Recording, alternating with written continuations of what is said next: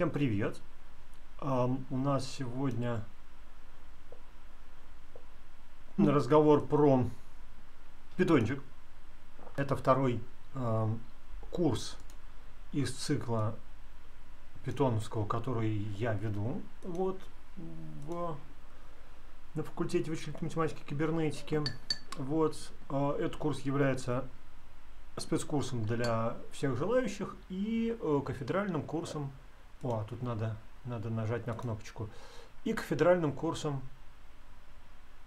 э, кафедральным курсом кафедры СВК. Так, как-то так это должно выглядеть. Э, пожалуйста, давай, давайте обратную связь, если что-то опять со звуком или что-то не то. Ага, судя по тому, что э, пожелание успехов вместо обратной связи, значит все в порядке. Вот.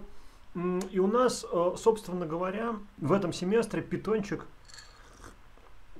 как язык, скорее всего, практически не встретится. Я имею в виду как изучение самого языка. Потому что курс называется разработка, совместная разработка приложений на Python. И, в общем, слово совместное слово разработка, ну, отчасти слово приложение, здесь важнее. Вот. Э, что планируется на этом курсе? Давайте, что ли, посмотрим на какую-нибудь аннотацию. Нет, аннотация мутная. А, вот, давайте посмотрим на план. Все проще. Значит, э, у нас планируется не так много лекций, потому что майские праздники, э, во-первых, майские праздники все сносят, а во-вторых, на факультете так повелось, что четвертые и шестые курсы у них чуть ли не в апреле все заканчивается, поэтому мы тоже заканчиваем, как видите, в апреле. Есть еще одна бонусная лекция э, в мае, вот, э, по которой, э, видимо, не будет домашек, она такая, ну, для всех, для всех, кому интересно. А, за эти 12 раз э, мы э, э, должны, вообще говоря, э, научиться довольно многому, Потому что отчетом по данному спецкурсу, то есть то, за что мы получаем оценки, является э, маленький совместный проектик, то есть разработка, совместная разработка приложений на Python, вот, которая должна а, а, обладать достаточно развесистыми свойствами. Значит, эти свойства пока до конца не сформулированы, но вы можете посмотреть аналогичную ссылку на прошлогоднем курсе. Вот, вот вы увидите, что там должно быть. И это что касаемо требований к приложению, как тому, что вы сделали. Да? Там должны быть применены некоторые вот эти инструменты. Вот, вот собственно. 4, 5, 5 инструментов. А, однако,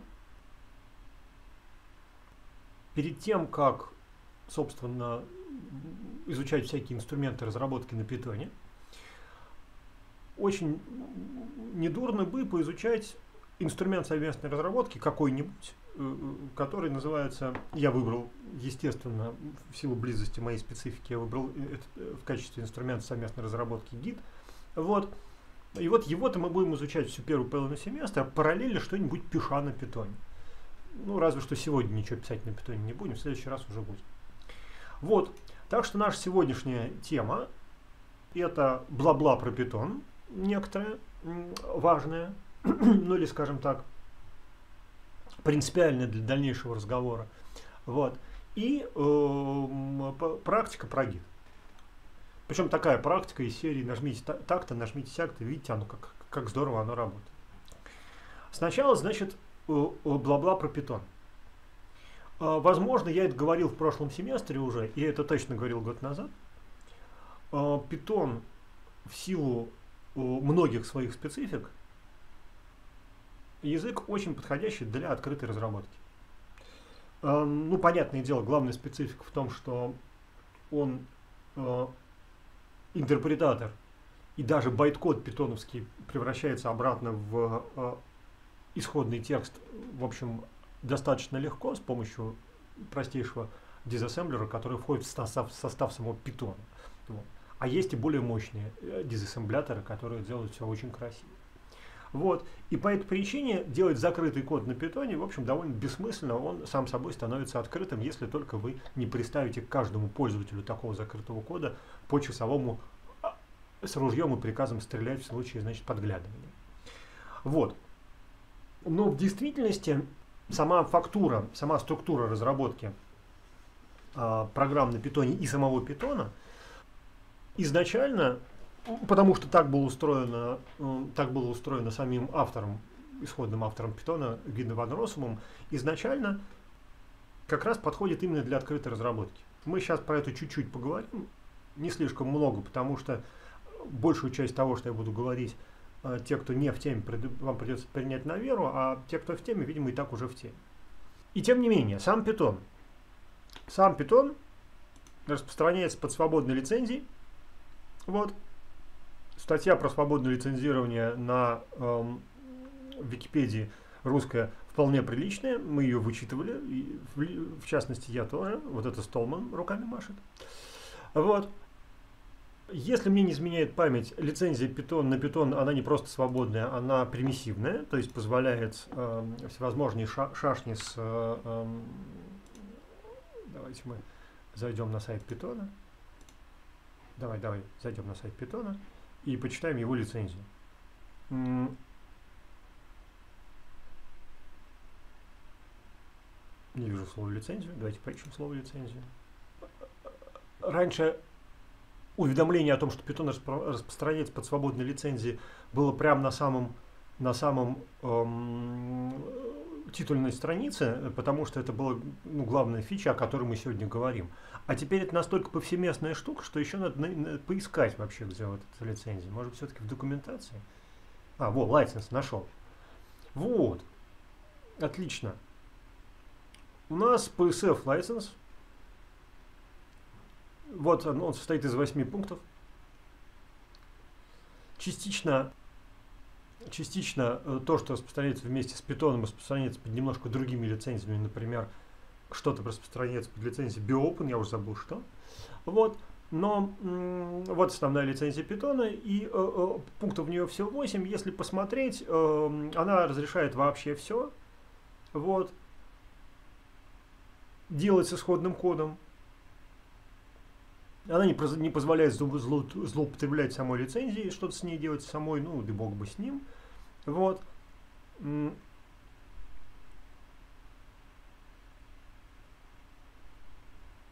Ну, в общем, как и было сказано, вполне себе такая нормальная примиссивная лицензия. Сейчас всегда посмотрим, вот примиссивная она или GPL-ная. Что-то я запутался, если честно.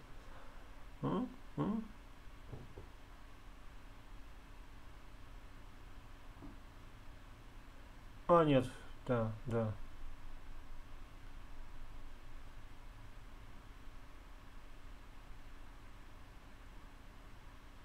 Она такие, она такие копилевтная, да, получается? Ну ладно. В общем, этот вопрос я еще выясню, но вот судя по пункту 2, лицензия копилевтная. Идея в том, что... А, это если вы сам питон меняете. Все, нормально все. В общем, свободная лицензия, бог бы с ним. Э, главное, что вам она не мешает ничего делать на питоне, просто абсолютно, э, абсолютно никак. И тем самым, кстати, вот эта ссылка на PSF лицензия. А я искал. Не, не мешает абсолютно никак разрабатывать, все такое. Значит, э, дальнейшие разговоры про то, что это не просто открывает возможность, а делает наиболее удобным способом открыть способ разработки, я опускаю. Вот. Скажу только, что у э, э, открытой разработки есть несколько важных пунктов, особенных, которые ее делают, в общем, эффективным инструментом там, где вообще открытая разработка возможна и применима. Более эффективным, чем что бы то ни было. Во-первых, поскольку у нас то, что называется произвольная мотивация, то есть люди, которые нам помогают в нашей открытой разработке, делают это потому, что им самим это по какой-то причине надо. Да? То есть они могут хотеть э, стать самыми лучшими программистами в мире, они могут чувствовать, что вносят свой вклад в работу комьюнити, они могут получать за это деньги, причем как от э, какого-то работодателя, который чего-то им такое поручил, так и просто фрилансом, ну и так дальше, и так дальше, и так дальше. В конце концов, они могут делать just for fun. Вот. И поскольку мотивация произвольная, объем вклада, который вы ожидаете от члена сообщества, тоже совершенно произвольный, может быть большой, может быть маленький. И это означает, что практически в, в открытой разработке может принять участие вообще любой, совсем любой. и тот, который написал две строки, и даже девочка, которая, если вы помните, а, а, добавила пробелы вокруг букв в ядро Linux. Был такой патч. Пробел она добавила к букве в, ядро, в комментарии в ядре Linux. Пятилетняя девочка, чтобы все буквы были снова will be happy again. Вот. Ну вот, это, конечно, казус, но идея примерно такая. Да? Свой посильный вклад может внести каждый. Вот. Во-вторых, э, в свободных сообществах, это довольно важно для темы питона, кстати, очень четко выстроена иерархия, ну, или наоборот, четко под, под, поддерживается ее отсутствие, если сообщество так устроено, но обычно выстроено. Э, иерархия авторитетов, причем этот авторитет зависит исключительно от профессиональных качеств, исключительно от того, как, насколько полезно ты выступаешь по отношению к сообществу. Вот. Поскольку, как правило, в сообществах дополнительных отношений, там, бизнес-отношений жестких не, не, не присутствует, а если присутствуют, они играют не главную роль, то ситуация, человек занялся другим и перестал как бы много вносить э, в, общую, в общее дело, она воспринимается, ну спасибо, чувак, ты славно поработал, да, значит, нам без тебя будет скучно, мы найдем кого-нибудь еще. Или сами там научимся. Вот. Никаких, значит, принуждений, ничего такого. Э, Еще одно важное свойство, что свободные программы, свободно цензированные программы, у них их распространение это не способ непосредственного заработка, потому что обычно копию не продают. Вы, в принципе, можете из, из, изловчиться и продавать копии свободных программ, так, в общем, делается. Это не вопрос, но это не основной способ заработка. И поэтому на самом деле э, распространение свободной программы это скорее ее э, такой маркетинг. Чем она лучше распространяется, чем больше народу имеют к ней доступ, тем больше народу, возможно, захотят принять участие в разработке, ну и так дальше. Да? Вот э, э, бонусы от свободного распространения превышают э, в данном случае, в случае открытой разработки, бонусы от распространения копий за деньги. Вот в этой ситуации, почему, собственно, я затеял все это, весь этот разговор, в этой ситуации особенно важным становится организация совместной разработки вот этих произвольно мотивированных, неизвестно где находящихся, время от времени появляющихся в комьюнити и обладающих различными скиллами по части программирования вообще всего, даже по части социального взаимодействия. Да? Так вот, э, в этой ситуации становится особенно важной организация совместной работы от всех этих людей, у которых еще и, в общем-то, нету одного конкретного начальника, а если есть, то он, ну, в первую очередь, авторитет, а не начальник. Вот. Ну и, естественно, естественно, основой для такого совместного взаимодействия обычно является хорошо, хорошо развитое информационное пространство. Вы его только что видели, мы его видели весь предыдущий семестр. Это документация по самому питону. И, как мы узнаем, вот увидим, посмотрим в этом семестре э, всякие информресурсы, связанные с питоними модулями. Вот. Э, сам питон разрабатывается, как я уже сказал, открытым способом, то есть там занимается этим комьюнити. Но в этом комьюнити существует достаточно прилично э, развитая и четко выделенная иерархия. Вплоть до 18 что ли, года э, у нас был так называемый 18 э, так называемый э, беневолент, как это по-русски, недобровольный, благонамеренный диктатор, вот, БДФЛ, пожизненный благонамеренный диктатор – и звали его Гвид Вон Россом, собственно, автор самого Питона. А, надо сказать, что свободные сообщества, у которых во главе стоит пожизненный диктатор, это довольно нормальное, э, э, как это не смешно, довольно нормальное э, состояние дел, потому что часто бывает так, что человек вот, полностью посвящен своей идее, и других таких людей, в общем, вокруг него нету. Да? И он а, чисто автоматически, просто в силу принципа динамической профессиональной иерархии, оказ постоянно оказывается на вершине этого самого э, иерархической пирамиды, просто потому что он делает больше всех и качественнее всех. Вот. А его пожизненность, она очень просто объясняется, что чем человек больше занимается, ну, короче, положительная обратная связь. Чем человек больше занимается этим самым делом, тем круче он в нем разбирается, а чем круче он в нем разбирается, тем больше он может им заниматься. Понятное дело, что люди в конце концов выходят на пенсию, что, собственно, Гвида и сделал. Вот. И сделано это именно тогда, когда выяснилось, что в сообществе есть люди, которые э, могут э, решения принимать ответственно и э, делать непростые выборы без участия Гвида, и более того, в какой-то момент выяснилось, что участие Гвида и не нужно для этого. Вот. Поводом для раздоров послужил оператор мар маржа, Walrus Operator. Это операция присваивания, аналогичная операция присваивания в C. Вот, которую жевали что-то такое лет 5, наверное. И в конце концов приняли. И Гвида сказал, что он ее принял, то есть диктатор тот человек, за, кого, за которым последнее слово принял решение, что да, давайте это в синтаксис введем, но нет, люди сказали, мы не будем. Он сказал, ну хорошо, все, я понял, ребят, смотрите, без обид, вы как бы ваша аргументация мне понятна, и мне также понятно, что вам больше не нужен диктатор, вы и сами уже большие. Большие подумали, подумали и решили, что все-таки они примут этот самый волос оператор в качестве синтаксиса питона.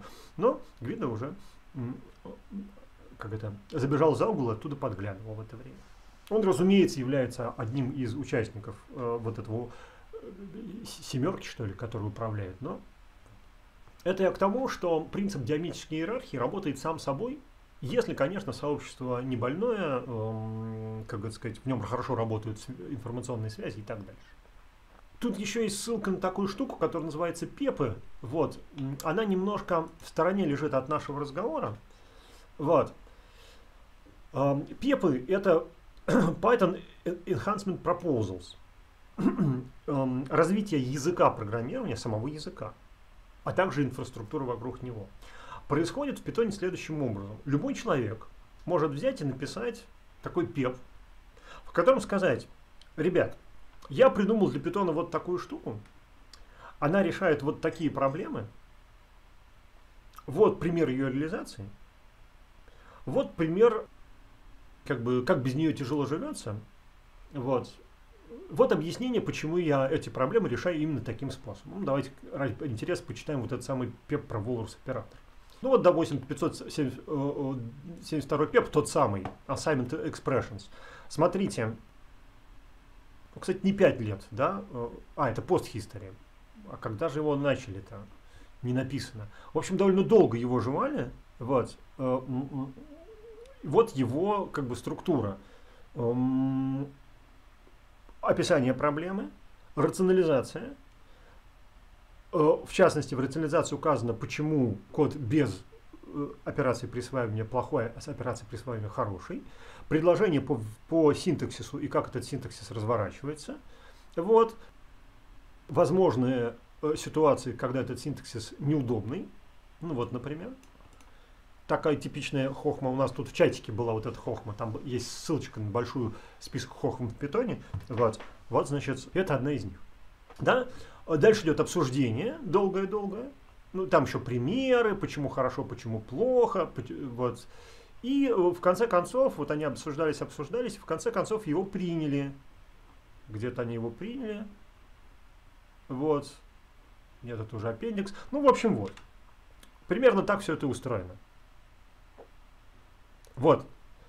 Список, список предыдущих предложений, которые были отвергнуты на эту тему. Вот.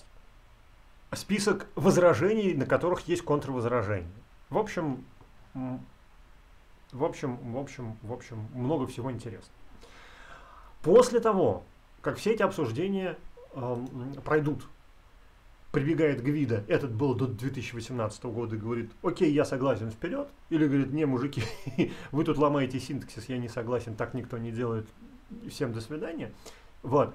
Понятное дело, что Гвида это говорит не просто так, вынимая из головы, а как комьюнити-менеджер, если он видит, что полностью комьюнити окончательно как бы споры утихли и все уже согласились, он, конечно, тоже соглашается, если у него нет только каких-то адовых соображений против. Так было до 2018 года, теперь этим занимается некоторый стиринг комиссии, рулевой комитет управляющий, ну, в общем, Гвида в него входит, но там еще всякие другие люди. Вот тот же Тим Петерс, который участвовал в, в этом волос операторе. Вот, пепы. И этих пеп, в общем, сотни, если не тысячи в питоне. Вот. То есть, ну вот, пеп-индекс давайте посмотрим. Пеп 0, а сколько их всего? Ну, в общем, их много. Да, есть довольно строгая классификация, какого именно рода пропозал вы, значит, выдвигаете. Продолжим. Теперь относительно приложений на питоне. Потому что мы же с вами будем приложение писать. Э, мы уже знаем из прошлого семестра, что питон состоит из некоторого количества включенного в дистрибутив питона пакетов. Вот. Где они тут у нас? Модулис, который называется модуль. Ну, вы помните, что модули отличаются от пакетов, от пакетов только объемом. Да? Модуль это файл на питоне, а пакет это каталог с файлами на питоне. Так вот, люди стараются в этот список ничего не лишнего не задвигать. Тут есть довольно много легаси, как это говорилось в прошлом, в прошлом семестре, да, ну вот, вот это, например, там, там типичный пример, это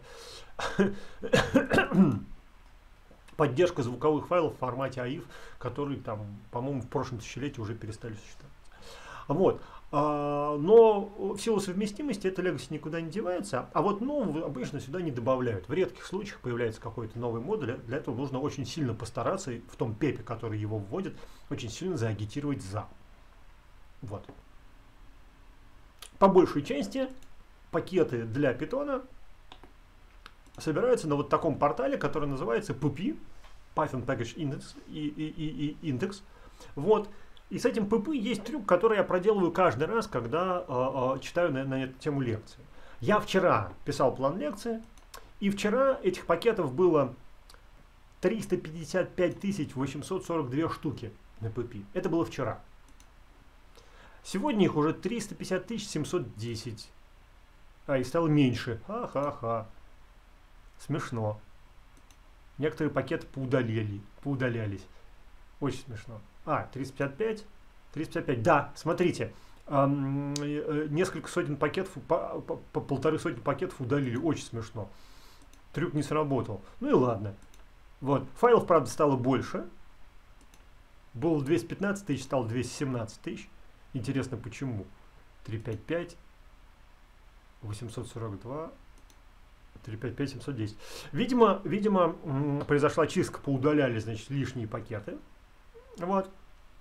Но как минимум трюк годовой давности проходит на ура. Значит, вчера э, этих самых пакетов было 355 тысяч, а год назад их было 288 тысяч. То есть прирост, эм, ну, в общем, на несколько десятков тысяч в год. Вот. Эм, а, например, количество, э, э, там, не знаю, ну да, да, да, вот, вот примерно так. Понятное дело, что большая часть этих пакетов, например, те, которые выкинули за вчера, это ненужный трэш. Какой-нибудь студенческий проект один раз завел, никогда не поддерживал. Или один раз завел в каком-нибудь 2010 году, он переехал, когда модифици... модернизировался этот самый PPI, и как бы с тех пор его никто не тронул. Вот. Но это 355 тысяч свободных программных продуктов под свободными лицензиями, потому что под несвободными лицензиями там буквально несколько сотен, сотен проектов, штук вот из этих сотен тысяч, вот, которые вы можете использовать по всем, всем, всем, всем возможным направлениям, вот если сказать брос и просто посмотреть топики, то глазки разбегаются. Я даже перечислять это не буду. Вот. Из них большая часть для питона 3, потому что питон 2 уже не существует больше года как. Вот, а то и двух я забыл. Э, да и, в общем, что на нем писать, если можно писать на питоне 3, который развивается. И у всех у них, как мы будем в конце этого семестра изучать, унифицированный интерфейс публикации, э, установки и всего остального. То есть это все у вас под руками. Если вы хотите что-то поставить на питон, вы просто ищете вот там на, на pp нужный пакет и ставите его все. Вот. А это, правда, это будет не сегодня, провоцирует, наверное, в следующий раз, провоцирует довольно своеобразное поведение современного программиста. Если современному программисту нужно писать приложение, первое, что он делает, он даже не садится писать его архитектуру этого приложения, он даже не садится писать а, а, а, а, этот самый модель. Первое, что он делает, он начинает яростно гуглить, в данном случае шарится по PyPI, на предмет того, а какие задачи из тех, что он должен решать своим приложением, уже решены и как. То есть любое маломальское, не нулевое, любая нулевая, не нулевая разработка на самом деле должна начинаться с ресерча. Сначала вы смотрите, какие задачи уже решены, а потом разбираетесь на предмет того, как вот из имеющих инструментов сложить ваше решение из этих кубиков. Вот. И вот эти самые кубики это и есть ПП. По-другому, как бы, можно только, вот тут в чатике упоминается do it yourself тенденция, она же not invented home. Только из этих соображений можно делать, все делать ручками самому. Да? Просто потому, что если вы, допустим, взяли для решения своей задачи открытый проект, который решает под задачу, и он ее решает, ну не ахти, и вы его поправили, и ваши исправления внесены в апстрим, и вы этот проект улучшили, то честь вам и хвала, потому что до вашего прихода проект умел там 60%, а после вашего прихода 70% нужной вам задачи. А если вы вместо этого написали ручками какую-то поделку, которая эти 10% делает сама, ну вот и живите с этими 10%. Такая вот история. Да? И э, напоминаю, все это возможно исключительно благодаря открытой разработке. Понятное дело, что разработка под NDA устроена совершенно по-другому. Вот. А что еще? Мы с вами будем заглядывать вот в этот документ. И это руководство э, пользователя по установке, по созданию питомского пакета. Собственно, это и будет а, одной или даже двумя лекциями в конце семестра. Вот. Есть хостинг, в который можно совершенно автоматически, он называется Read the Docs, автоматически публиковать вашу техническую документацию к вашим программным продуктам, особенно если они опубликованы на известных порталах свободного по, ну не только свободного, на известных хостингах систем разработки, типа э, GitHub, Bitbucket, GitLab, но на самом деле не только, потому что процедура публикации совершенно э, э, стандартная. Вот. В случае питона это вообще совершеннейшая сказка. Вы просто говорите, вон там у меня мой питоний модуль, само вынес из него документацию, само отформатируй, само опубликуй. Так что э, с очень большой вероятностью э, документация по сторонним, по сторонним модулям будет на этом Redux хоститься, просто потому что это делается чуть ли не вообще автоматом. Вот. Историю про, про PipSearch рассказывать не буду, нет больше никакого PipSearch. Э, да, и, значит, э, вот этим пакетированием занимается уже целый комитет отдельный, называется Python Packaging Authority. Вот, эм, можете почитать, это довольно интересная работа, не связанная непосредственно с программированием. Это такой тусня о софтваре архитекторов, которые придумывают, как, значит, экосистему, инфраструктуру питоних вот этих всех модулей сделать еще более удобной. Вот. Пока что они ее, в общем, усложняют, но что поделать, язык слишком популярный, наработок слишком много, без усложнений никак. Вот, Э, что, что следует из того, что я вот, вот на это наговорил? Что тема совместной разработки, причем э, в свободном виде, в смысле в открытом виде, совместной открытой разработки, питону не просто не чуждо, а прям-таки присуща, что вот эти тысячи проектов разрабатываются примерно так, реально, с публикацией исходного кода, с, э, со ссылкой на соответствующий гид-репозиторий или там не гид, вот. Что весь процесс разработки состоит далеко не только в программировании, и мы это увидим. Вот.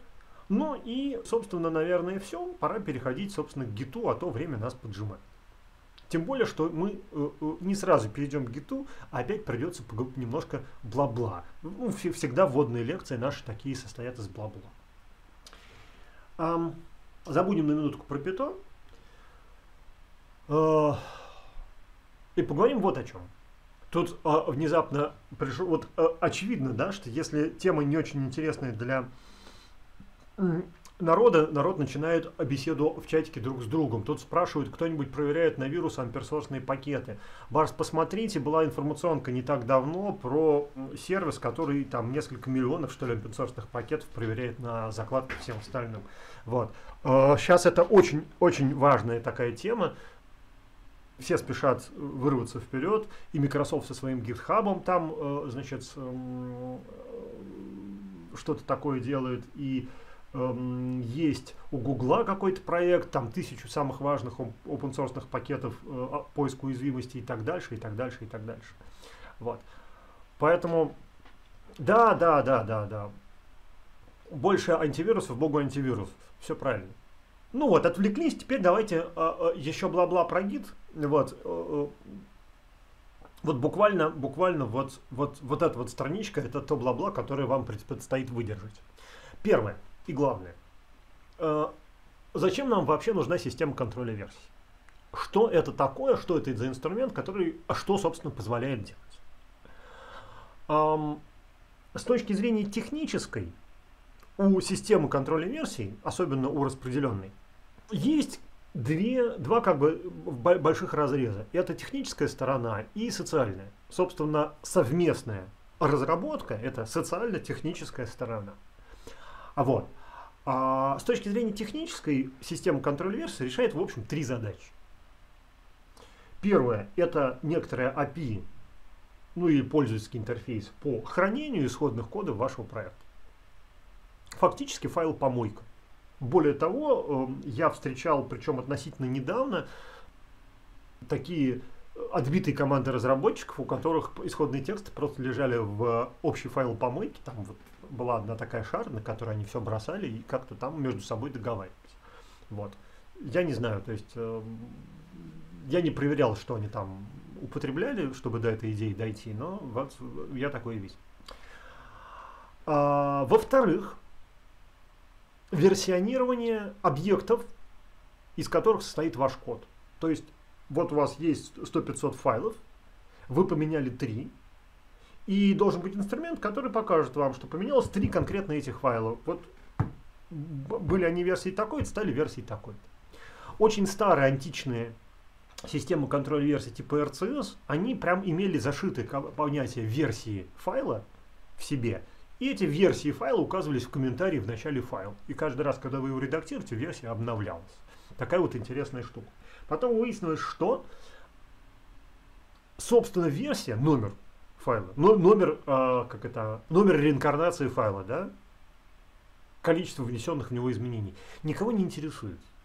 Ну, допустим, вы редактируете файл, версии которого равна там 100-500, и теперь эта версия равна 100-501, потому что вы его один раз отредактировали. Вот эти вот чиселки не говорят ничего. А что говорит? А говорит, э, собственно, история всех изменений, которые вы поддерживаете, э, э, проделали над вашим корпусом кода, и граф этих самых изменений. И какой файл получился из какого файла, когда, ну и, значит, к чему это привело. Вот. Граф этот ориентированный. Кажется, вот такой вот орграф с, э, с циклами, с, с, неориентированными циклами называется сети. Вот. И ориентация по этой сети, модификация этой сети и э, удобное использование этой сети, а в узлах этой сети лежат файлы, которые вы разрабатываете. И есть, собственно, основная задача системы контроля версий. Вот. Мы с вами со всем этим будем работать и даже немножко э, повтыкаем в эту самую сеть. Вот. Эм, собственно, э, история того, что такое система распределенная, э, система контроля версий, ВЦС. Эм, очень просто почитать в Википедии. Опять-таки, не самый плохой текст. Википедия вот в этом плане вполне себе нормальная. Вот. Эм, Однако стоит довольно аккуратно относиться вот к этой терминологии, потому что, как мы сегодня увидим, она в зависимости от подхода к самой разработке может меняться, сама терминология, это важно. Вот. Но еще раз повторяю, вот статья на Википедии хороший пример, и просто надо почитать, э, как бы слишком, э, слишком плохого там не напишут. Как уже было сказано, один из самых античных, один из самых античных инструментов является РЦС, 1090, 1982 год. Вот. Э, его основной, основная задача была версионирование, и только версионирование, чтобы не перепутать файлы, которые называются одинаково, но в них разные версии. Вот. Эм, такая вот значит, штука. Эм, довольно быстро выяснилось, что эм, помимо версионирования нужно еще и хранение. Вот. И вот это очень заслуженный и э, мощный был проект, он назывался CVS Concurrent Version System. И слово concurrent как раз означает, что э, это некое централизованное хранилище, куда э, можно одновременно э, несколько людей могут коммитить, могут помещать э, свои варианты одного и того же проекта исходного текста. Вот. Ну и с помощью некоторой э, дисциплины вот эту совместную работу координировать. Вот централизованное хранилище, версионирование и, и, значит, отчасти история. Ну, конечно же, как без истории. В силу своего еще более античного происхождения, обратите внимание, 1982 год, еще раньше. Просто она дольше развивалась. Накопилось много легаси. А, это РЦС. Сейчас, стойте. Все-таки она менее античная. Я, я вас обманул. Сейчас, сейчас, сейчас. А, где же это было? Я забыл, у меня нет кнопочки здесь вернуться. Ладно, должна быть кнопочка вот такая. За, открыть, восстановить закрытую вкладку. Все-таки 90-й год. Я вас обманул, все нормально. История шла в правильном пути, а, а не задом наперед. ЦВС это 90-й год, понятное дело, когда начались интернеты. Тогда начались, собственно, и э, ну, массовый интернет. Тогда и началась потребность в централизованных хранилищах. Вот. Значит, у CVS было много всякого легаси э, неприятного, и взамен его пришла система Subversion, которая, собственно, позиционировалась как CVS на стероидах. Вот, где-то тут должно быть прям написано слово CVS на стероидах. Да, да, вот оно. Которая функционирует чуть ли не, не, не, не до, до, до сей поры, как э, довольно успешная централизованная система контроля версий. Вот все бы ничего, но для открытой разработки централизованная модель в общем не подходит. Мы сейчас про это поговорим немножко, чуть-чуть. А дальше началось. Выяснилось, что логика такого рода разработки довольно простая. И вот такие централизованные системы контроля версий начали расти как грибы. Значит, вот, вот, вот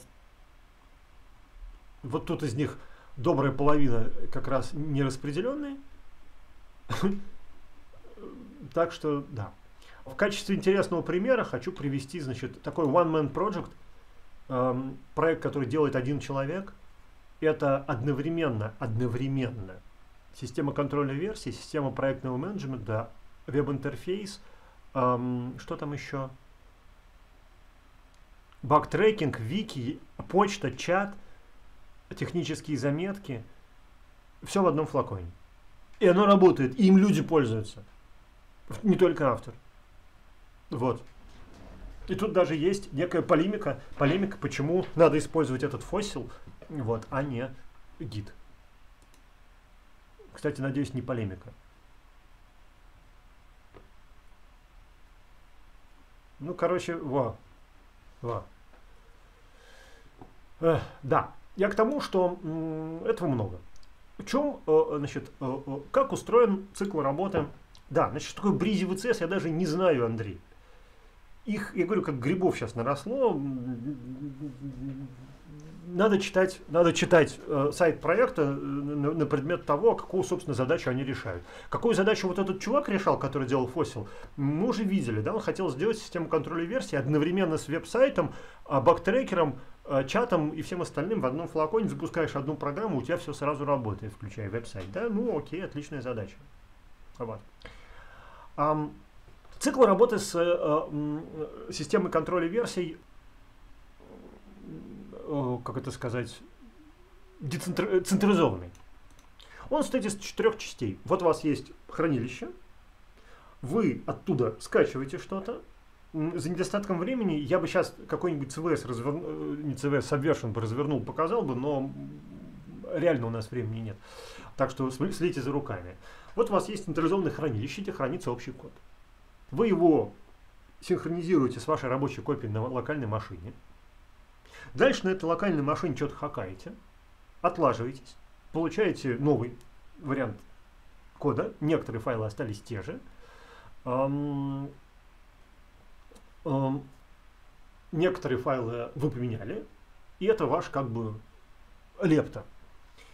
Дальше вы оформляете это как комит, то есть описываете, какие изменения сделали, эм, смотрите, чтобы все было сообразно полисе, а, принятым в э, том месте, где у вас лежит этот общий репозиторий.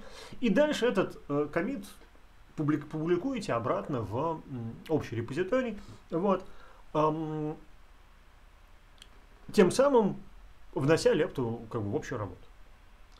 Тут люди уже говорят, что еще не только ВЦС, но есть всякие инструменты управления. Ну да, да, да, Виктор, конечно, Redmine это не ВЦС, Redmine это инструмент управления. Внутри него есть интерфейсы к, допустим, гиту или какому-нибудь там, не знаю, прости господи, Меркуриеву. Вот. Идея стоит в том, что у системы контроля версий довольно ограниченные задачи. А, задачи технические мы уже перечислили, да? Вот они. Это хранение, версионирование и история изменений. Да? Задачи социальные – это некоторые взаимодействия посредством кода, но мы э, где-то к середине семестра увидим, что одного гита для этого недостаточно. Нужны верхнеуровневые инструменты, и Redmine – это такой инструмент, GitHub – это такой инструмент. Вот. Um, да, так вот, значит, синхронизация, редактирование отладка, оформление комита, публикация. Четыре шага. В чем недостаток этой схемы? Разумеется, недостаток в интерференции тех изменений, которые все участники процесса делают. Не дай бог, два участника процесса работают над одним и тем же проектом, э, над одним и тем же файлом в одном и том же проекте. То есть э, ситуация, когда два человека хотят запушить одно и то же, и первый успевает запушить, опубликовать свои изменения, а второй, когда публикует свои изменения, они начинают конфликтовать с теми, которые были сделаны первым, приводит к тому, что вырабатывается у людей некоторая дисциплина, противоречащая собственной идеологии программирования. Вместо того, чтобы аккуратно описывать, какие изменения сделаны и каждое изменение отдельно э, хранить, люди при работе с системой централизованной э, контроль версий обычно делают так. Они э, весь день работают, потом проверяют, нет ли какой-то интерференции с уже опубликованными э, частями кода. Если она есть, фиксит эту интерференцию у себя, и только после этого заново публикует. И это так происходит примерно раз в день, большой пачкой изменений. Вот. Э, есть и другие более удобные дисциплины работы, но в любом случае э, при использовании централизованного доступа, когда все коммитят в одно и то же место, эта проблема не решается, а слово совсем. Вот, еще одна проблема состоит в том, что у вас каждый раз приходится проверять, а вот пока вы тут работаете, не поменялись ли те опубликованные исходники там на сервере. Да? И для этого приходится выдумывать тоже какую-то специальную полис, чтобы, значит, эти исходники гарантированно там не поменялись в течение, не знаю, там рабочего дня. В общем, эм, когда у вас команда небольшая, все люди сидят в одной и той же комнате, включая чиф-программера, который, собственно, за все отвечает, это хорошая идея. Как только у вас люди сидят в разных уголках земного шара, они могут спать в то время, когда вот их время коммитить. Или есть. Вот. Или не хотеть работать. Потому что свободное сообщество. Хочу работать, хочу. Поэтому достаточно быстро люди пришли к распределенной системе контроля версий, из которых можно назвать предшественник гита под названием BitKeeper. Такой классический юниксовый хардкорный был штук, в котором хранилось ядро Linux, пока не вышла смешная история. Он был платный, не свободный совсем. К нему был не свободный, но бесплатный клиент, которому разрешалось пользоваться разработчиком Linux, потому что автор благоволил разработчикам Linux, ему вообще нравились всякие Unix, Unix-образные поделки. Но когда один из чувак из комьюнити, Тридж, Энтони Триджел, э, взял и расхакал протокол клиент-серверный между клиентом и сервером и написал свой собственный клиент, на этот раз совсем уже свободный на э, перле, что ли, вот, кисло обиделась автор, сказал, что вы все козлы, вы раскакали мой протокол, я больше вам не дам за бесплатно этого самого моего волшебного биткипера. Вот. Линус адски перепугался, э, начал всех чморить там. Э, Тридж в результате с ним просто поругался. Вот. А Линус, понятное дело, испугался, потому что это происходило где-то в нулевых годах, когда там у нас гид появился. И Linux уже был брендом, или, по крайней мере, очень сильно выдался вперед. И ситуация, что завтра у нас не будет системы, в которой хранится все ядро, конечно, оказалась прям паническая. Вот, наделал глупостей. Потом, движимый э, угрызениями совести, э, как полагается настоящему хорошему комьюнити-менеджеру и хорошему лидеру и хорошему программисту, э, что делает хороший программист? А движимый угрызениями совести. Вот он не вешается, а пишет свой собственный вариант распределенной системы контрольной версии, как это сделал Linux, назвал ее, разумеется, гид, потому что э, ощущал себя форменным мерзавцем после этой истории. Вот. И, эм, и вот. Помимо гита можно вспомнить базар, который пользуется э, сообществом Ubuntu. Вот, э, э, активно. Меркурил, который одно время рос-рос, сейчас потихонечку куда-то девается, хотя все еще на нем я видел вполне изрядное количество живых проектов. Ну, видимо, популярность гитхаба все забила. Да? И там, не знаю, какой-нибудь э, Dark, с которым я в свое время пользовался, э, э, довольно забавный инструмент, э, тоже распределенная система контроля версий. Вот. Эм, хотя не знаю, насколько распределенная. Кажется, да. Но дело не в этом. Дело в том, что э, идея Даркса, он написан на Хаскеле. Вот, и идея Даркса была в том, или этот Ила написан на Хаскеле, давайте посмотрим. Мне интересно. Да, на Хаскеле. Видите, его с помощью кабала можно поставить. Вот. И, и это такая математическая абстракция, которая оперирует исчислением патчей. Вот она их жует, эти патчи, друг на друга накладывает, умеет их вычитать со, складывать и вот всякие такие штуки делать. Вот. Я бросил пользоваться Darks, а вот по какой причине. Я в нем хранил свои конфиги от Shell и Vim и всего остального, которые там не каждый день, но довольно часто менялись. И когда вот история этих патчей, арифметику которых, значит, алгебру которых реализует Darks, стала насчитывать их несколько тысяч, а банальное обновление репозитория могло идти там, ну, минут 20, наверное. Вот он сидел, жевал свои эти патчи. Вот. Я думаю, что с тех пор все, конечно, изменилось, но ну вот. Вот. Э, есть еще другие системы контроля версий распределенные, которых я не указал, но вот эти самые популярные, вот Меркуриев базар прям вот живые и ныне здравствующие, но изучать мы их не будем, а будем изучать гид, тем более что с некоторой верхней точки зрения обе системы примерно одинаково устроены. То есть не обе, не обе а все. Все распределенные системы контроля версий устроены примерно одинаково. Вот. Разница только в терминологии некоторой и в базовом, так сказать, workflow.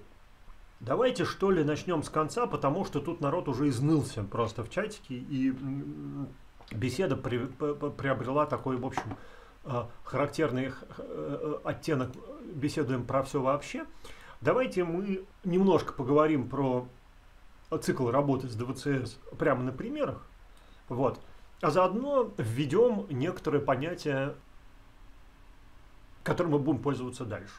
Кстати сказать, я долго думал, переводить ли на русский язык всякие штуки типа push, pull, rebase и прочее, и прочее, и принял решение их не переводить. Считайте, что мы с вами разговариваем на программистском арго, в котором полным-полно англицизмов.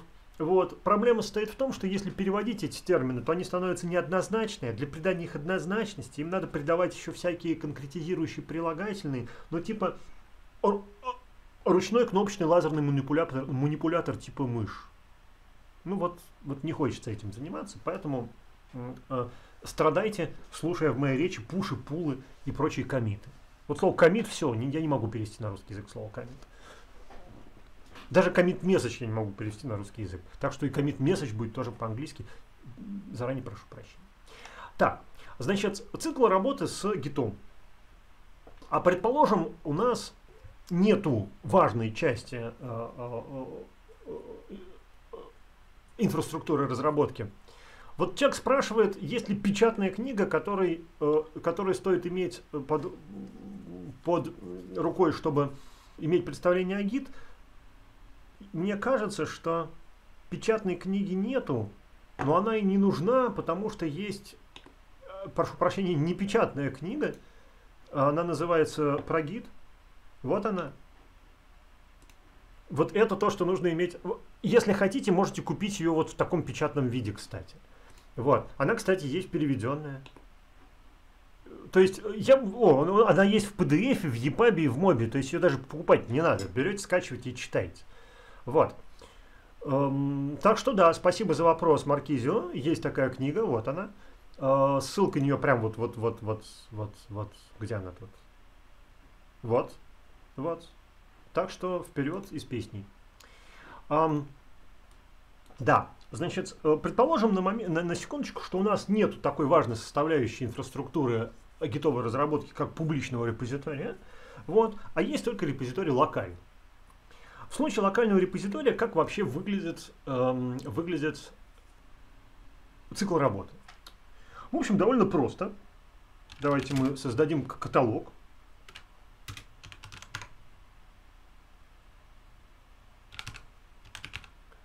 Ну, пойдем, допустим, вот так. Да? Вот у нас есть пустой каталог. В этом пустом каталоге у нас будет одновременно, это всегда так, в Git это вообще всегда так есть. В этом пустом, пустом каталоге у нас будет одновременно присутствовать и все хранилище целиком, и рабочая копия. Сейчас я расскажу, что это такое. Сначала мы инициализируем хранилище, скажем git init.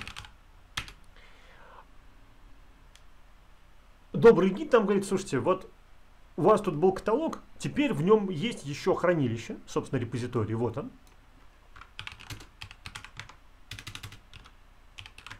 И там целая инфраструктура, как видите. Да? Эм, со своими подкаталогами, с какими-то файлами, в общем, со, со всякими пирожками. Вот. Эм, конфигурация по умолчанию. В общем, создали репозиторий. Вот все эти сэмплы это на самом деле всякие инструменты, э, э, кстати сказать, кажется, на шелле, которые по умолчанию, которые позволяют более-менее автоматизировать работу с гитом, возможно, мы до них даже не доберемся в нашем курсе, ибо нельзя объять необъятное. Вот. А пока что нас интересует только конфиг, в котором тоже ничего особенно такого не написано. Вот. И каталог Objects, в котором ничего нет. Там есть э, файл info и файл pack, но они ничего, не, ничего в себе не содержат. То есть сейчас в нашем каталоге нету ничего, в нашем репозитории нету ничего, сейчас мы будем что-нибудь делать. Смотрите. Um, допустим, мы создаем файл. Ну, как проще всего создать файл? Ну, допустим, делаем вот так вот. Ой. Вот.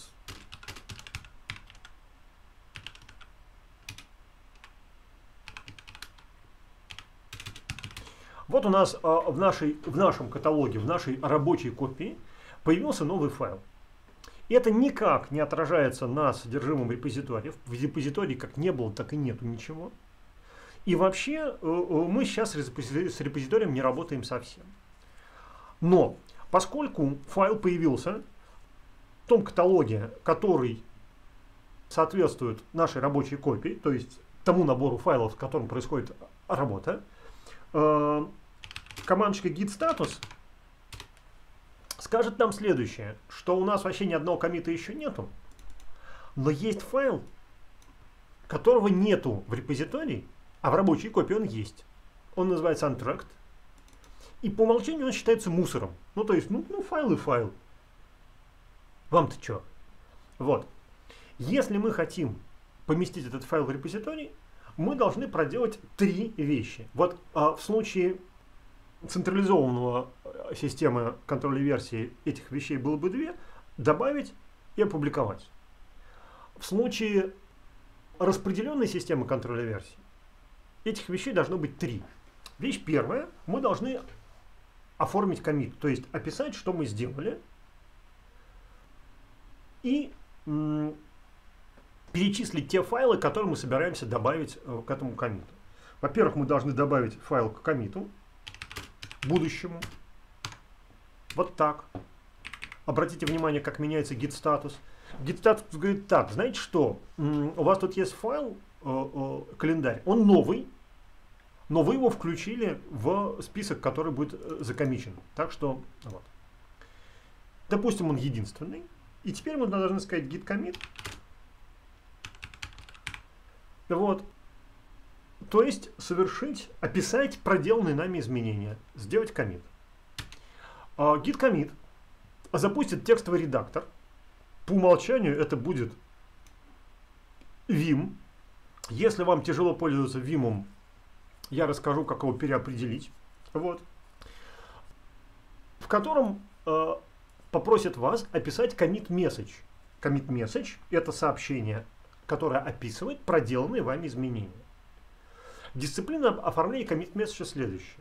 Вы пишете, какую задачу вы решали, и, возможно, слегка конкретизируете. Значит, э, ну, в данном случае, что тут конкретизировать, я просто пишу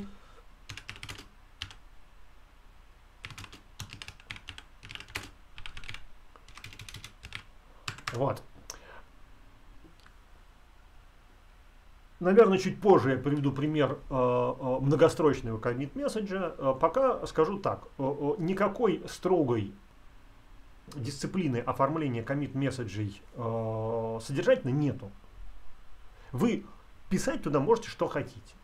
Но принято, что если вы, у вас сообщение очень короткое, то оно состоит из одной строки, а если длинная, то первая строчка это summary, вторая строчка пустая, а третья и оставшиеся строчки это длинное описание. Ну давайте так и сделаем. Вот это вот было бы короткое описание, а сейчас сделаем длинное.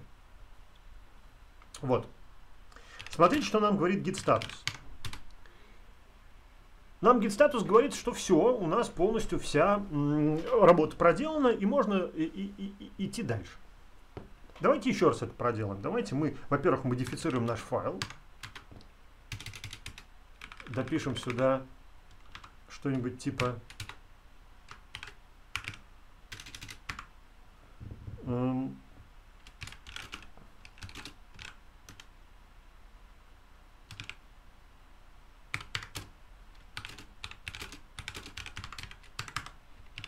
Вот. Да. И заведем еще файл на 3, да, пожалуйста, можно же и так сделать.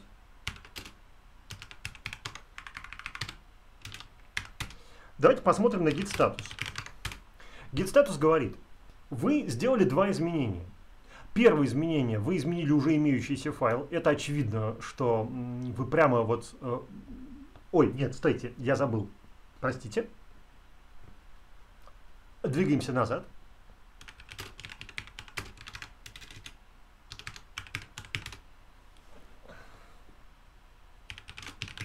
Вот.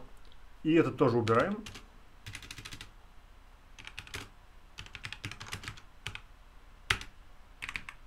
Вот. Значит, что я сделал? Эм, я, э, во-первых, ну, кстати, мне гид-ресет не нужен был, зря я так сказал. Во-первых, откатил все изменения до э, последнего комита, и во-вторых, поудалял все лишние файлы. Вот у нас есть один файл, я забыл сказать еще две вещи, которые обещал рассказать э, сам себе. Ну, вот сейчас расскажу их вам. Значит, во-первых, у нас есть только один комит. Да, вот тут э, э, Вениамин сразу говорит, подсказывает, как проэкспортировать переменную, чтобы редактор был не... Вениамин подсказывает, как изменить В Linux редактор на другой, а можно же сделать вот так, вот git config. Сейчас, давайте по очереди. Я помню, что я про это обещал рассказать. Давайте не перепрыгивать. А, значит, итак, у нас есть репозиторий из одного комита. Давайте посмотрим git log. Вот он этот комит. Обратите внимание, что у комита есть идентификатор уникальный, commit ID. У него есть автор, который берется из э, настроек локальных. И у него есть время, при котором это, этот комит происходил. Также у него есть положение в истории, но пока у нас история состоит из одного комита, эта история, в общем, из ничего. Вот. И вот это commit message. У нас появился один файл. Давайте посмотрим, как изменился наш репозиторий.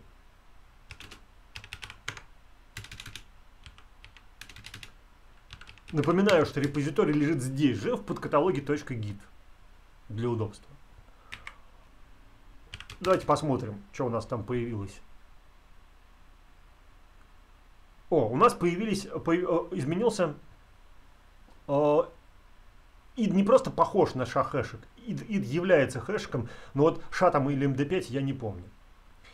А, значит, эм, у нас появился в подкаталоге Objects под, появилось три подкаталога под названием 1B, 66 и E4. Э, что это такое вообще? Давайте еще раз посмотрим на гидлог. Видите вот это 6.6? Даже не так вот сделаем, да? Сейчас. Git минус pager No paginate, наверное, да. Нет. Я забыл, как, как выключить paginate. Нет, no. Тоже нет. А, минус во, минус no pager. Только минус. Короче, а, -а, -а. короче, вот так. Это чтобы, чтобы, чтобы вот так не было. Смотрите, когда я говорю просто gitlog, э, нам показывают его с помощью программы LES, ну или любой другой программы поджинатора, которая есть в вашей операционной системе, чтобы длинный лог можно было посматривать постранично. А если мы не хотим это, говорим git-p. Итак, вот это 66 запомнили? Теперь давайте посмотрим вот сюда.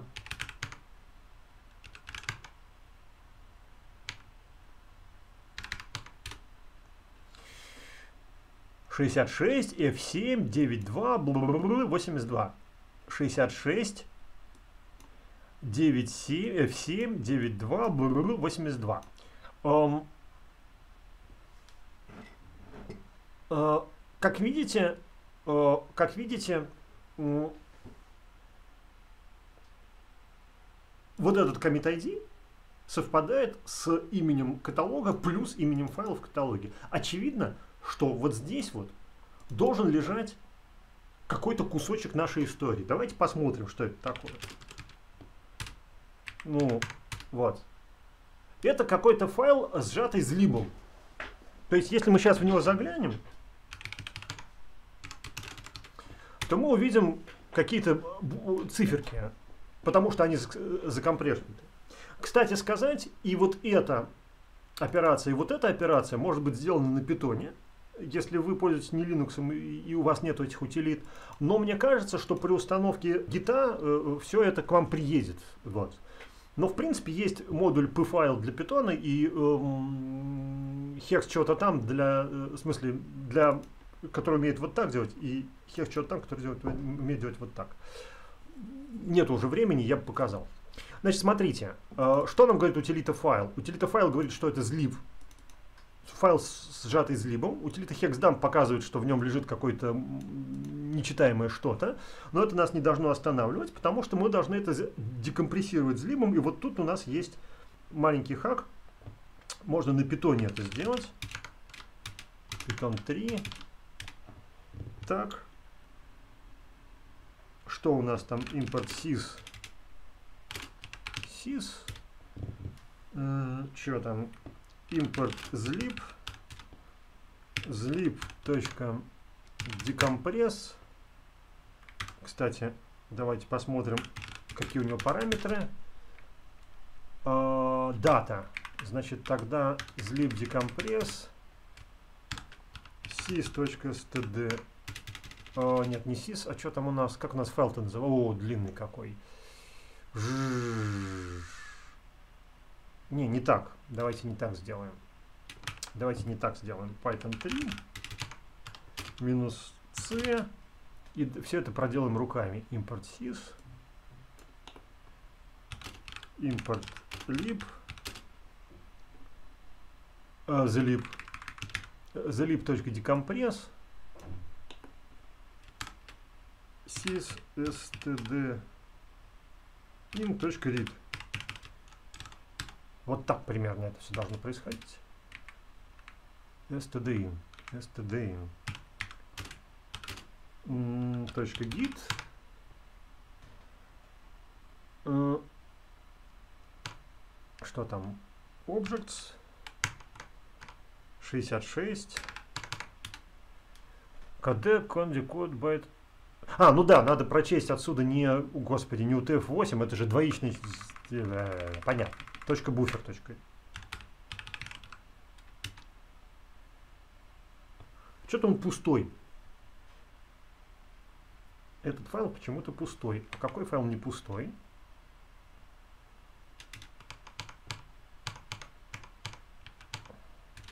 А, я забыл принт сказать. Я тормоз, тормоз, тормоз. Принт, принт, принт, принт.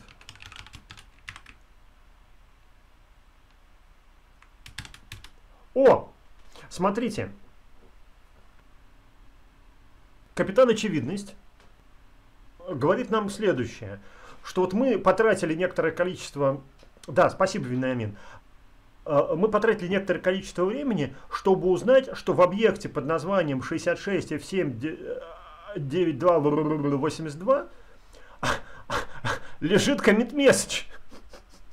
Вернее, лежит комит с идентификатором 66F79282. Такая вот удивительная. Окей. Э, ради чего это я затеял? Я это затеял ради того, что на самом деле один комит – Эм, привел к тому, что, э, что у нас появилось три разных объекта. Не один, а три. Один из этих объектов это наш файл календарь. Второй из этих объектов, как мы видели, это commit message. А вот что такое третий из этих объектов, мы пока не знаем. Давайте проверим. Значит, давайте каждый из этих объектов посмотрим. И тот, который лежит в 1b, это наш календарь. Ну, он в двоичном, он в, по байтовом виде, это русские буквы, кто не узнал. Если вы очень хотите, мы можем, мы можем даже написать вот так. Точка декод. А, а, нет. Не умеет он декод. Ну, короче, вот это наш, это наш календарь. Вот. Так называемый объект типа блоб. Собственно, э, это его описатель. Блоб такой-то дальше 0, а дальше, собственно, вот с этого места начинается наш календарь. В хранилище лежит. Вот. А, и третий объект, который был создан на один комит, вот этот, это дерево. Три, да, точно. Опять же, вот его описатель, дерево. Дальше идут какие-то, какие-то, ну, почему-то 40, дальше идет 0. И дальше идет, собственно, описание, что произошло. А произошло, произошел файл под названием календарь.txt с вот такими правами. Вот. И это еще какие-то дополнительные поля, которые нас, в общем, не интересуют, потому что мы не хотим так глубоко в кишки гита забираться. Что из этого эксперимента мы обнаружили? Из этого эксперимента мы обнаружили, на самом деле, три важных вещи. Вещь первая. Каждый комит сопровождается обновлением трех сущностей. Списков блобов, то бишь объектов, которые мы запихали в наш гид. Вот они. Самого комита, потому что мы написали commit message.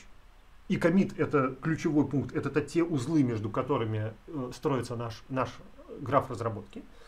И так называемая ветка 3, э, бранч. Ну, бранч-ветка, 3 это дерево. Так называемое дерево, да, дерево, э, которое описывает список всех файлов, участвующих в нашем проекте. Давайте поэкспериментируем с этим еще. значит, э, добавим, как мы это уже делали, новый файл и отредактируем старый файл.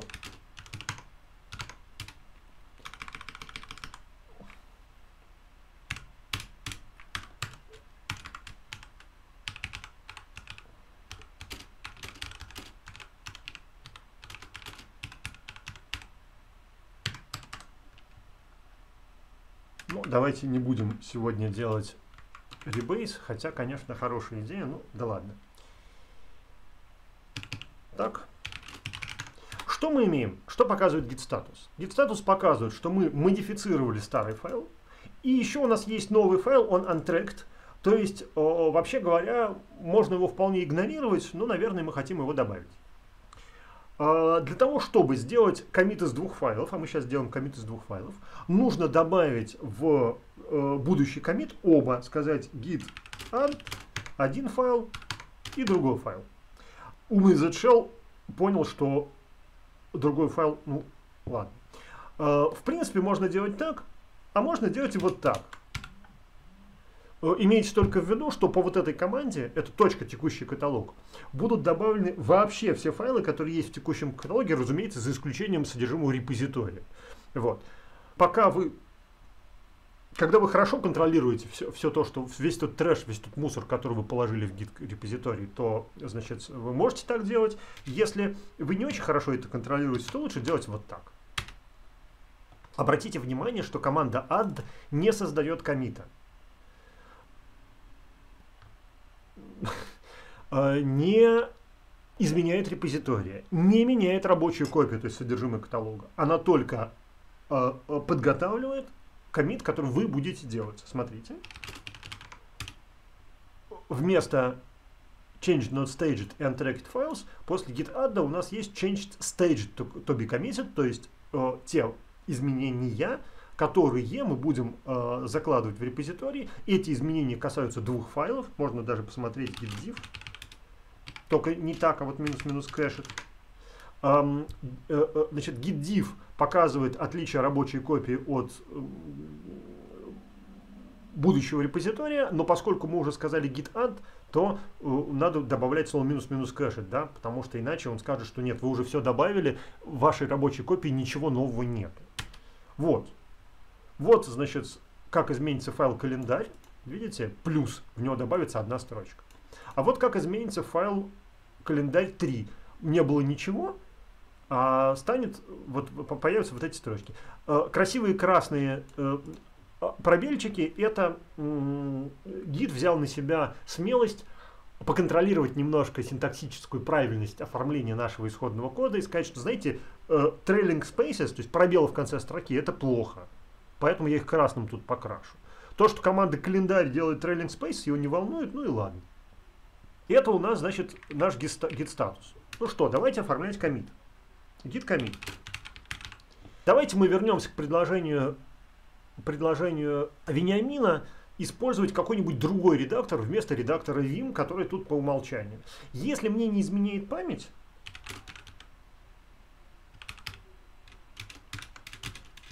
конфиг.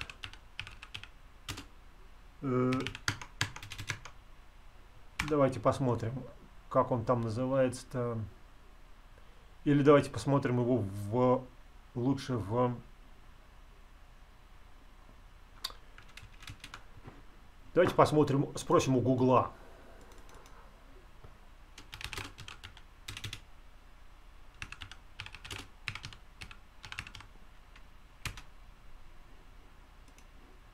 Далеко ходить оказалось не нужно, можно было поискать прямо здесь. Вот, давайте поищем слово «езитор». Слово «езитор». Езитор. Кори езитор. Во! Git config. Кори езитор. А вот тут э, нас подстерегает одна неприятная особенность, э, на которую мы в прошлом году натолкнулись, когда на практике это проходили. Ваш редактор должен запускаться в интерактивном режиме, то есть он должен запуститься, остановить работу, пока он не закончится, ничего, э, ничего не должно продолжаться. То есть если мы сейчас напишем вместо core editor, допустим, какой-нибудь Gvim, Ну-ка, Gvim. Видите, что делает Gvim? Он стартует и эм, немедленно продолжает работу. Стартует в фоне, не, не в интерактивном режиме, а в фоновом. Вот так делать нельзя. Гиту от этого снесет крышу. Вам нужно обязательно, эм, давайте поищем, погуглим это дело. Gvim. Вот. Эм, вам нужно обязательно сказать, что... О, господи, C Program Files. Вот. Вам нужно обязательно этот гвим запускать под винду, ужас. Э, вам нужно обязательно этот гвим запускать с ключом минус F. Вот так. Видите, он запустился и ждет, пока, пока это самое закончится. И вот только после этого. То есть, если вы хотите поменять Vim на Gvim, не забудьте включить э, ключик минус F, но мы хотим его поменять, ну не знаю, на MC-editor, да? MC-edit. Эм, git config core.editor там равно или просто, по-моему, так вот, user bin mcedit. Интересно. Сейчас, что там, как, как все по минус L? О, что-то там такое, что-то там такое у нас исправилось. Ну-ка, давайте попробуем. Git commit. Тудущ. В качестве редактора запустился другой редактор, что, собственно, мы и хотели. Так, значит, please enter commit message, бла-бла-бла-бла-бла. Вот, вот здесь мы сделаем э, наш commit message длинным. Эм, Во-первых, мы напишем от э, э, там море кален... А, мы, ну да, dar fixes. А во-вторых, мы напишем, что, собственно, мы сделали. Мы добавили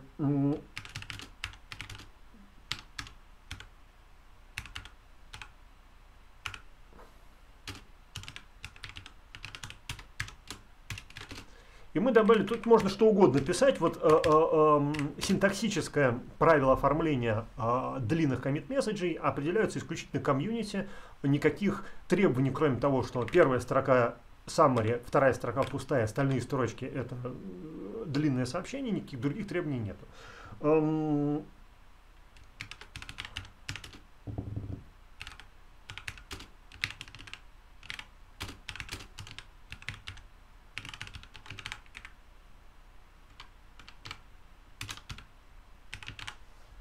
Вот.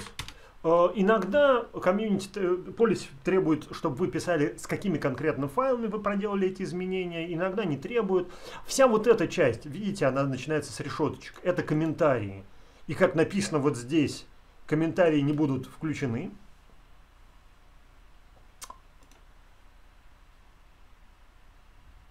Да, вот Маркизио совершенно правильно э, вычислил э, то, что я хотел сказать в течение уже почти получаса, и, видимо, все-таки сказал. Хак ад комит. Хак ад комит. Хак ад комит. Обратите внимание, что в, этом, в этой последовательности ни разу еще нам не встретилась публикация. Короче, отредактировали commit message. Смотрим git Смотрите, какой он красивый, наш гитлог. У нас теперь есть два комита. Э, причем этот комит, для него предыдущим является вот этот комит. У этого комита короткий commit message, commit message, у этого длинный commit message. Вот. У обоих одинаковый автор. Ну, короче, вот прям вот история комитов перед нами вся, как она есть. Вот. Значит, как правильно заметил как, как правило, правильно заметил Маркизио, э, при работе с локальным репозиторием, который не приводит к публикации никуда, у нас три эм, всего составляющие. Да, э, значит, хак, add, commit. Мы могли add сделать раздельный, э, мы могли отделать даже почанкный. То есть, э, э, не знаю, будет ли у нас такое занятие, но это довольно забавная штука. Если мы наделали много изменений, мы можем разбить изменения одного и того же файла на несколько комитов, сказав гиту, ты мне, пожалуйста, предлагай по одному из изменений, а я буду говорить, его надо включать в данный комит или не надо. Довольно удобная штука. Но сейчас мы этого делать не будем. В общем, э, кажется мне, что можно дальше не продолжать. Третий э, комит будет такой же. Давайте посмотрим, что у нас в плане. У нас есть еще 10 минут на все. А в, в плане явно что-то еще было. А, пуш, пул, публикация. Эм, все, что мы с вами говорили, было связано с работой над локальным комитом. Э, фу, господи, локальным репозиторием. А, работа над локальным репозиторием развязывает нам руки настолько, что мы можем взять и переписать историю и превратить вот ту часть нашей работы, которую мы в локальном репозитории делаем, превратить в совершенно другую работу, если нам не понравилось то, что мы проделали. Смотрите. Это такой бонус, это в принципе я не собирался это рассказывать, хотя тут у меня есть изменения задним числом, но, видимо, надо, надо про это рассказать. Предположим, мне не нравится слово new, и я хочу поменять в что-нибудь в, в, в истории разработки. Или мне не нравится, или я обнаружил багу в последнем комите, и оказался плохой негодный комит, мне его надо переделать. Я могу сделать что? Я могу взять, э, отредактировать заново, отредактировать заново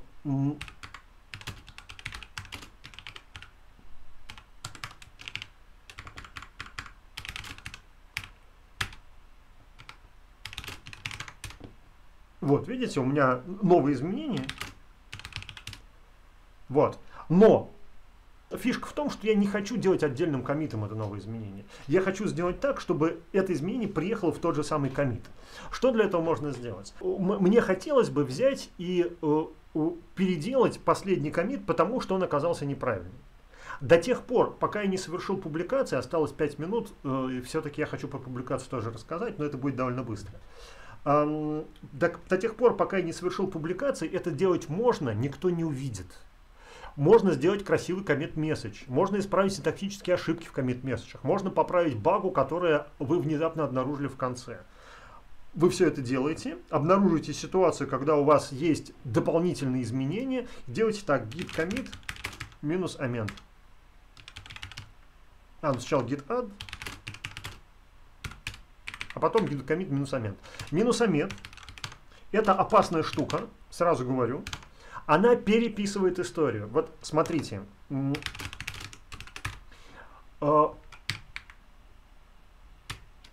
я же сказал минус P, а, минус P log, минус P, вот так вот. Видите, комит 66 чего-то там, комит 92 чего-то там. После минус-минус аменда вот этот комит, вот этот, поменяется, у него поменяется комит ID. Да?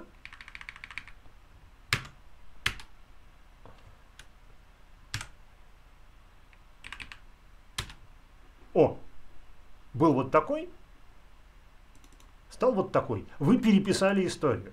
Если по чаяния вы меняете историю, которая уже опубликована, и на базе этого комита еще какая-то разработка идет, у вас начинается страшная рванина.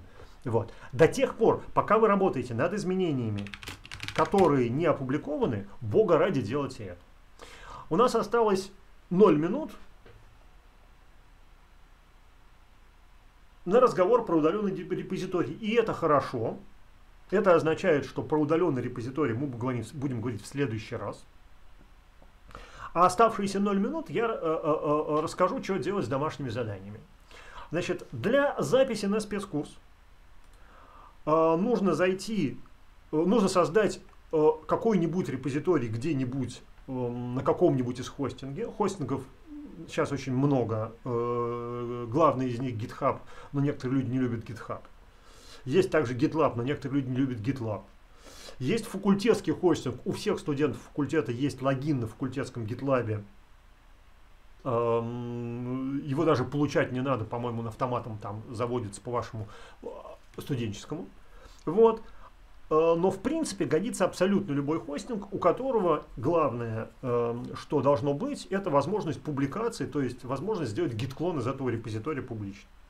Кстати сказать, когда будете заводить на факультетском GitLab э, свой репозиторий, если вдруг у вас его еще нету, то не забудьте сделать его публичным, потому что по умолчанию он может быть какой-то корпоративный, внутренний, групповой и так дальше. Вот этого нам ничего не надо. На своем внешнем IP можно. Можно. Любой гид-репозиторий, э, э, допускающий публикацию, чтобы я мог сделать гид-клон, подходит. Вот. Значит, э, и регистрируете его в качестве issue вот на эту вот, вот тут уже кто-то зарегистрировался, смотрите. Пока я тут сидел, тут уже два человека зарегистрировались. Это было почти вчера, а это было прямо перед лекцией. Вот. Значит, эм, такие вот дела. Регистрация в этом месте – это и есть запись на спецкурс. На почту которые мне пишут, я хочу записаться на спецкурс, я отвечаю раз в неделю, и отвечаю так, перейдите на сайт и там запишитесь. Вот. Значит, запись на предыдущий курс, который был вчера на, на архитектуру, это регистрация в Еджанже, она работает. Виктор, ссылочку куда? Это, извините, это наша лекция. Я думаю, что вы посетите страницу лекций. Тут есть ссылочка. Вот она. Или на что ссылочку? Ну, то есть, э, было бы странно, значит, пользоваться для, как это сказать, для повышения, так сказать, своего образовательного уровня только видео и не ходить на сайт лекций. Вот, сходите туда. Вот, хорошо. Э, собственно, все. Да, мы э, очень аккуратно поговорили про... Да, ну вот она, вот она. Она ведет с, титульного, с титульной страницы нашей лекции на Unix.org. Um, вот и я, и я про то. Значит, э,